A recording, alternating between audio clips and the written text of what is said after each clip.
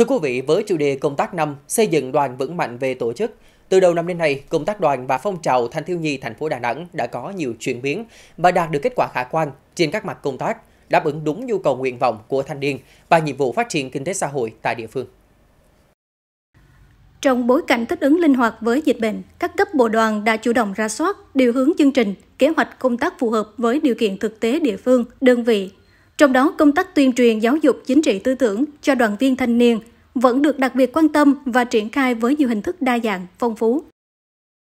Xây dựng hình mẫu thanh niên trong thời kỳ mới thì quận đoàn chú trọng vào các nội dung như ờ, xây dựng ờ, về lý tưởng đạo đức cách mạng cho đoàn viên thanh niên, ờ, hướng dẫn cho đoàn viên thanh niên về hướng nghiệp, lập nghiệp trong thời đại mới.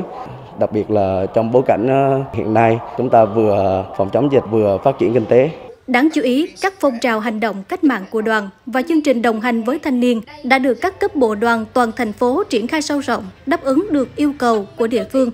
phát huy được ý thức tình nguyện, tinh thần sung kích của đoàn viên thanh niên, tạo được môi trường cho thanh niên rèn luyện, cống hiến và trưởng thành.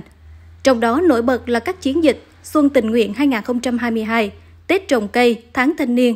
tiếp sức mùa thi và chiến dịch thanh niên tình nguyện hè 2022 đang diễn ra. Chúng tôi tổ chức các hoạt động tình nguyện tại chỗ như là sửa chữa nhà cho các hộ gia đình, à,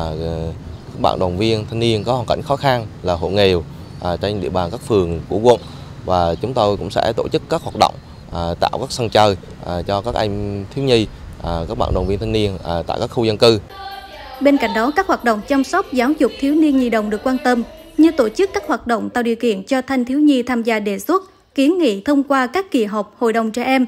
phối hợp UNICEF Việt Nam tổ chức hội thảo tham vấn với chủ đề Xây dựng thành phố Đà Nẵng an toàn thân thiện với trẻ em,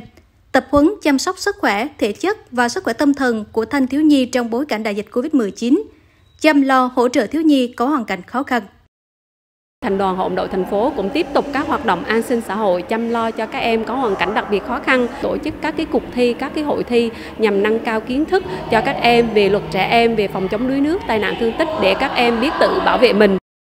Với chủ đề công tác năm xây dựng đoàn vững mạnh về tổ chức, 6 tháng cuối năm, tổ chức đoàn tại địa phương tiếp tục đẩy mạnh các phong trào hành động cách mạng của đoàn và chương trình đồng hành với thanh niên, tập trung xây dựng đoàn, mở rộng mặt trận đoàn kết tập hợp thanh niên, chỉ đạo các đơn vị trực thuộc tổ chức đại hội đoàn các cấp đúng theo tiến độ đề ra, tiến tới đại hội đại biểu Đoàn Thanh niên Cộng sản Hồ Chí Minh thành phố Đà Nẵng lần thứ 19, nhiệm kỳ 2022-2027.